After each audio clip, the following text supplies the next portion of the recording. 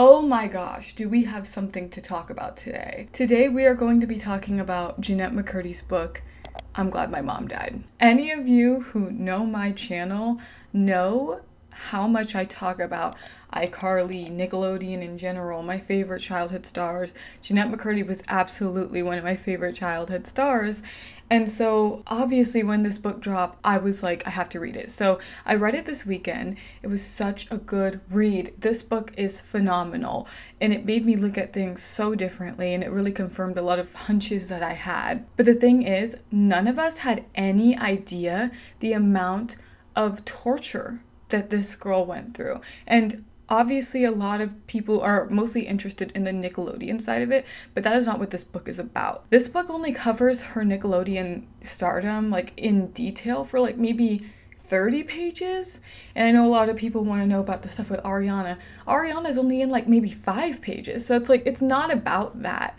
It is so much like the title says, it's about her mother and her and about the abuse that she endured throughout her whole entire life. And yeah, a lot of that abuse came from her work life as well, but this is more in detail about her home life. Before I get too into this, I do want to give a massive trigger warning for really everything. You know, there's a lot of heavy topics in this. I'm not going to go too in detail about the things because I do want people to be able to watch this video and kind of understand what was going on if they feel like these topics are too triggering for them to be able to read the book because it is a lot. This book covers eating disorders, mental, physical, and emotional abuse, SA, alcohol abuse, some drug abuse. So just be aware that if you're going to read this book, it's going to talk about a lot of these things in detail, especially the abuse and eating disorders aspects. But yeah, let's just get into it. I feel like I've read a lot of like celebrity written books where they talk about their lives and they talk about maybe a period of their life from their perspective, but I have never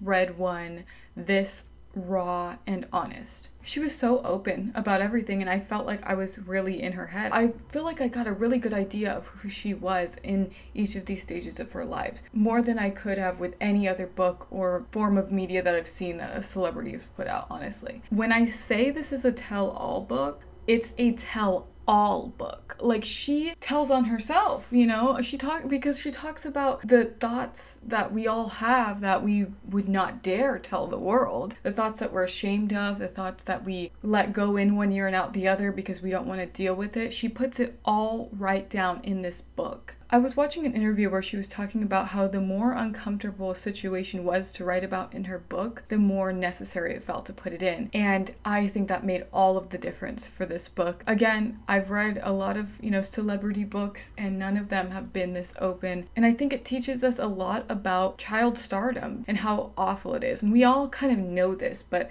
to see it right here in this format is just so different for me. So the first part of this book was really hard for me to get through. Not in the sense that like I wanted to put it down. I would not put it down, but it was just so troubling to read about the things she was going through. You know, she talks about her mom and, you know, her early life, how her mom battled cancer and how she would guilt the kids into feeling like they have to be exactly what she wants them to be so that she doesn't die. It's like this weird dynamic where, for example, Jennette would wish on her birthday cake every year that her mom would have another year of life, which is so much. This started when she was young. I don't know exactly when it started, but the first time I think they mentioned it was when she was six years old. So much for a child to go through. You know, she talks about how she never wanted to be an actor, she never cared about any of it, but her mom pushed her so hard. In the early chapters, talks about how she grew up in a hoarder house. The kids and the mom were sleeping on those gymnastic mats that you get from like Costco, she was saying, in the living room because the whole house was completely cluttered with stuff just everywhere. She talks about the early years in her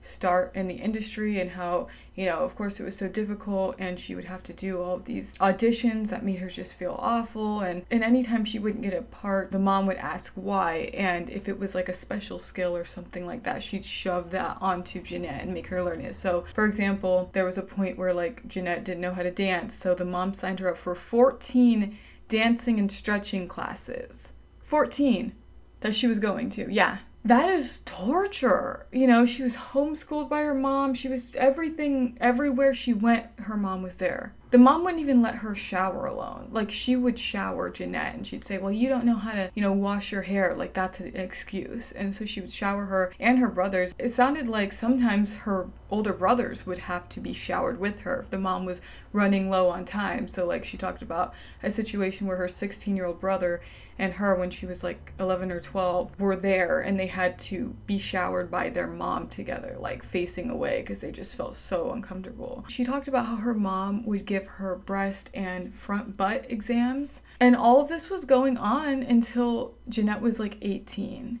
the first part of the book is very hard to get through. Honestly, a lot of the book just covers very, very heavy topics, especially the end, too. So be wary if you are somebody who are triggered by certain things it's very intense. Jennette, you learn, is this very repressed child. You know, she, that's the other thing, she grew up Mormon, and so she had a lot of those ideas of life and ideas of what was good and bad and morality, and you can see how much that shaped her as well as her mom and the people she was around. But like I think a lot of kids growing up saw Jennette as Sam, which is like so complete opposite of what Jennette really was, of who Jennette really was. So, Jennette has a character in her book that they call the creator. He's never mentioned by name, but a lot of people have speculated that it's allegedly Dan Schneider. So, yeah, take that how you want to take that. But they don't necessarily say he's the creator of the show, but I don't know what else he would have created. You know what I mean? So, um, they call him the creator, and he does come up in a few points in the book. I think that you should read the book if you do want to learn about that part, or just read the chapters where it does talk about the creator. There was just a lot, you know, there was an instance towards the beginning of the show where he made the wardrobe people take photos of the girls in bikinis because it was going to be for a bit for the show. The creator was having them take photos of them, even if Jennette was saying, I'm not comfortable in a two piece in general. I don't even want to try it on. I'm not wearing it type of thing. They still forced her to take pictures in them. Jennette had her first kiss on the show, if you even want to call it that, with uh, Nathan Kress in the show iCarly, as you all have probably seen. It made me look at that scene a lot differently. I remember when I was a kid, I was super uncomfortable because I remember thinking, like, oh, Sam looks like she does not want to be there and she looks super awkward. It was actually Jennette that just felt extremely awkward and, and uncomfortable and not okay with anything that was going on. There was a point where the creator was like trying to push alcohol on her and make her sip his drink and he just kept talking about how like well the victorious kids get drunk all the time. We need to loosen you iCarly kids up. Like do you hear yourself and she's like, No, I'm 18. Can't I get in trouble for that? It's literally against her religion. She just doesn't want to do it. And he just kind of pretty much makes her, you know, and her mom's telling her, You need to make him happy. She feels like her mom wants her to please him so that she can move forward in this career that she doesn't even want. And so she drinks the drink and he starts giving her like an unsolicited massage all of a sudden. It's just so much of that. Here's how she describes him early on. He seems effusive and boisterous to me, but mom says she's heard rumblings from crew members that he's got a hair trigger temper and to be sure not to get on his bad side. This was pretty telling, she said. I feel like the creator has two distinct sides. One is generous and over the top complimentary. The creator knows how to make someone feel important. The other side is mean spirited, controlling, and terrifying. The creator can tear you down and humiliate you. I've seen him do this when he fired a six year old on the spot for messing up a few lines on a rehearsal day. I've seen the creator make grown men and women cry with his insults and degradation. He'll call people idiots, buffoons, stupid, dumb, sloppy, careless, arsler, and spineless.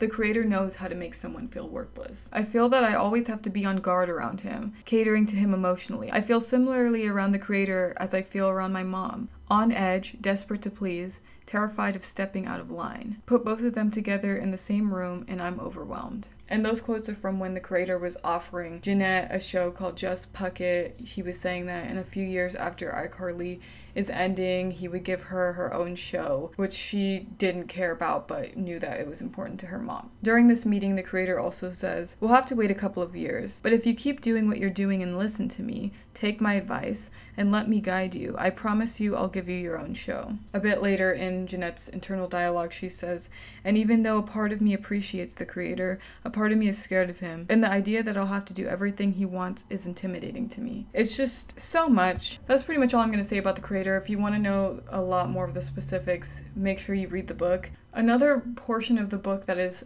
incredibly small, but I know everyone is going to want to know about it, is what she says about Ariana Grande. So, first off, one of the biggest things I know people talk about and misunderstand is why Sam and Cat ended. So, Jennette says in the book that it got canceled because I believe she says one of the producers was accused of SA and that that caused the ending of the show. She says something along those lines. And that people saying that Jennette was mad about Ariana making more money than her was furthest from the truth. So, I don't know if that just means that Ariana did make more money, which that's what I'm assuming, or if she's just saying that wasn't the main issue. But from how I read it, it seemed like she was saying that Ariana wasn't making more money. I don't know though.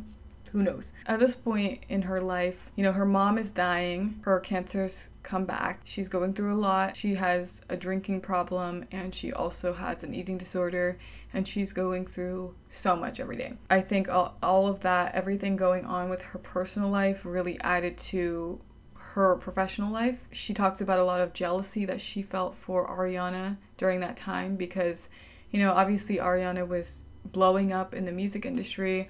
She was more mad at first that Ariana was allowed to do things that she wasn't allowed, like skip work and stuff. She said that she often missed rehearsal days, which made Jennette have to pick up the slack and it got to the point where she was missing filming days. There was a whole week where they had to write Ariana pretty much out of the episode. I don't know if you guys watched Sam and Cat, but if you remember the episode where Ariana's in a box the whole time, that's what happened. Basically, Ariana couldn't come for that week of shooting. And Jennette was furious because, you know, she had to turn down film roles and things because they told her that she couldn't miss any time, but you know, here was Ariana, who's obviously thriving and becoming this big sensation, and she just got fed up. Obviously, Ariana would come into work super excited and happy about everything going on. You know, oh, I, I sang at the VMAs, I'm on the cover of Elle.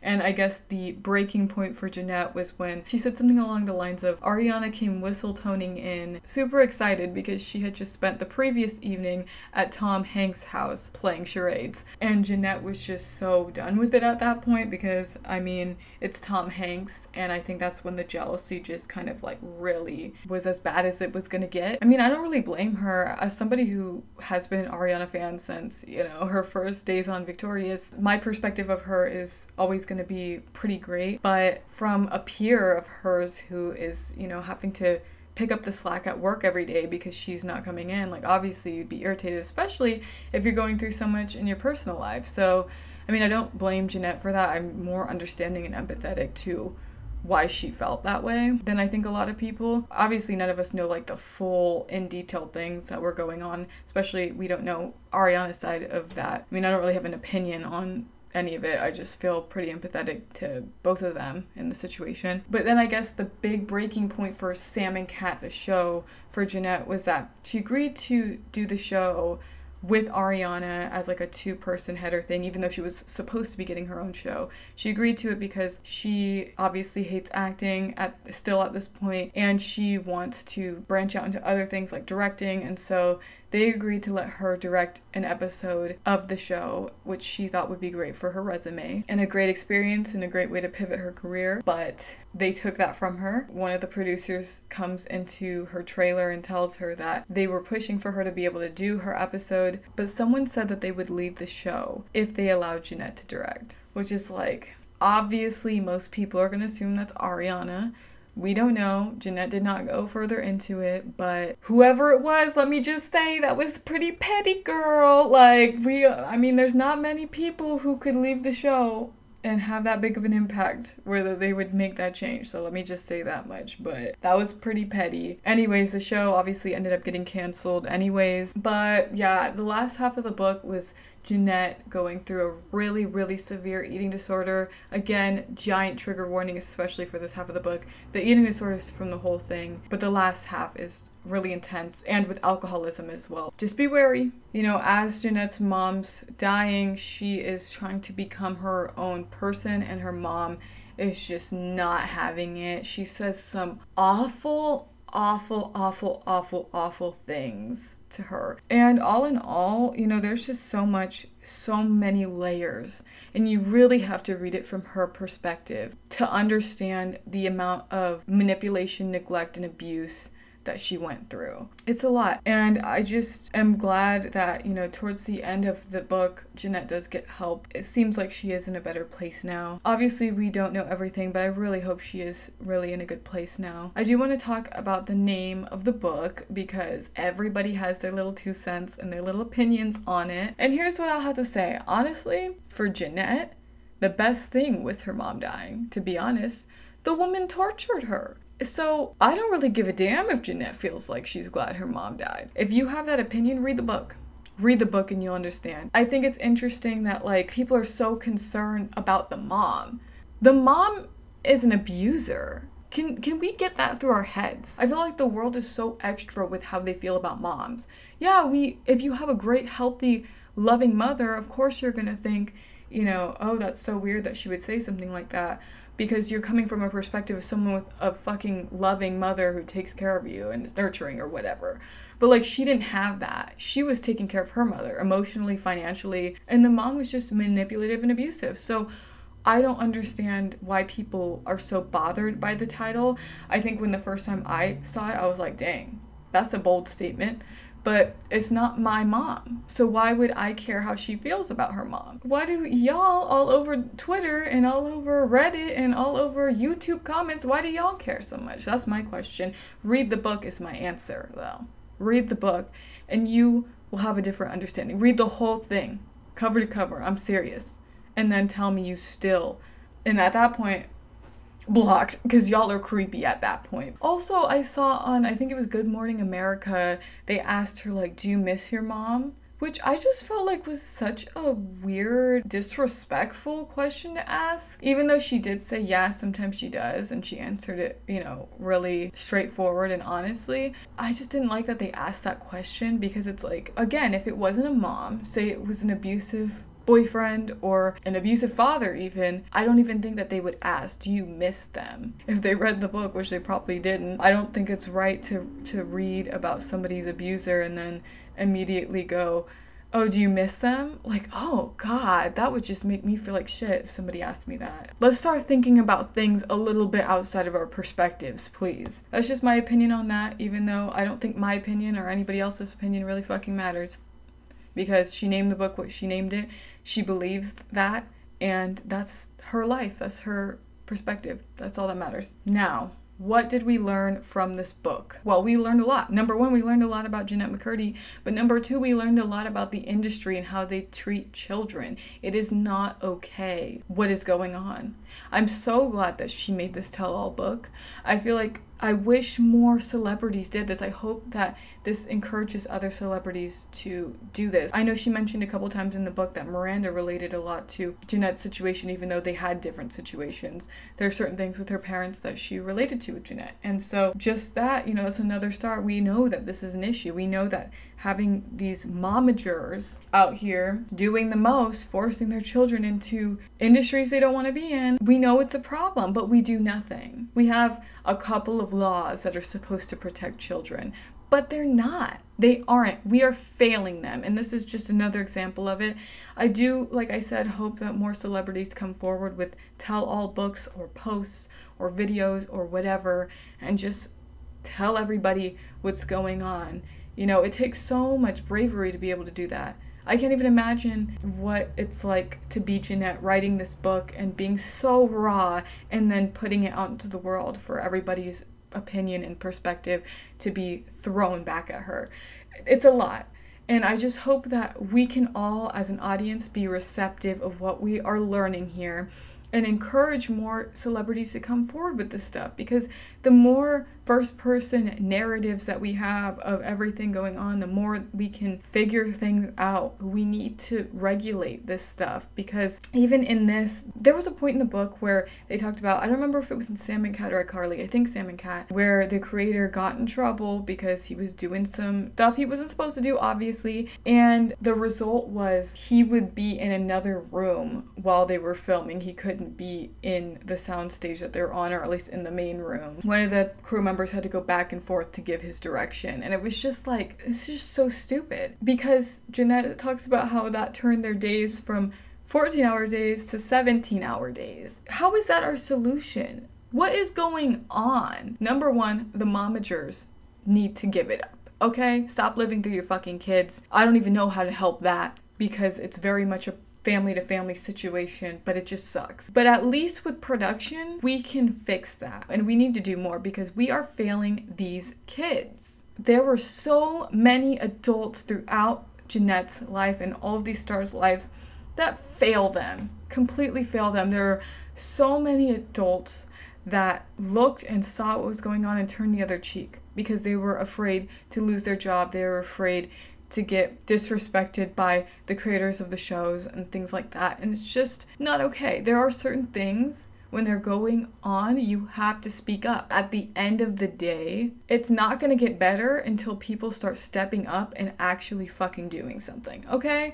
So, yeah, there's so much that we learned in this book about child stardom, about the awful work conditions that they are put in, about the awful home life many of them experience. I'm so thankful that we have, you know, Jennette McCurdy, for example, to come out and speak on it. Although I know that Jennette is probably never going to see this, I want to say thank you so much for your vulnerability. You spoke about sides of yourself that I'm sure were incredibly hard to speak about. You did that because you had a story to tell.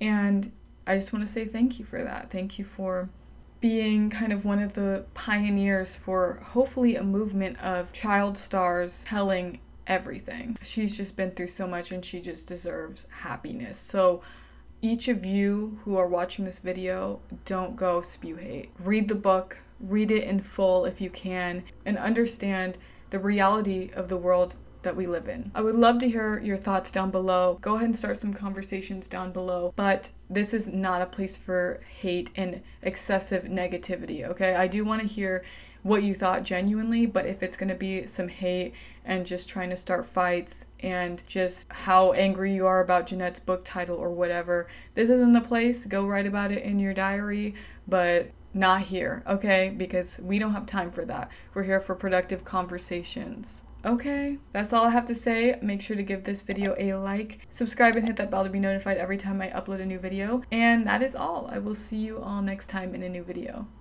Bye!